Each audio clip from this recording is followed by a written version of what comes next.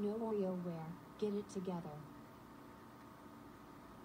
Yes, WarioWare, get it together. It's an awesome action game that was released in 10th of September 2021. That's it. You're extremely grounded. Go to your room right now. That